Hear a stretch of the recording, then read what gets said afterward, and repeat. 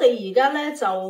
今次申報之後，其實我哋嘅租戶咧係已經授權咗俾我哋，就同不同嘅政府部門咧係可以有一啲配對查證嘅工作。當然啦，我哋都會考慮翻嗰個資源啦，同埋實際需要嘅。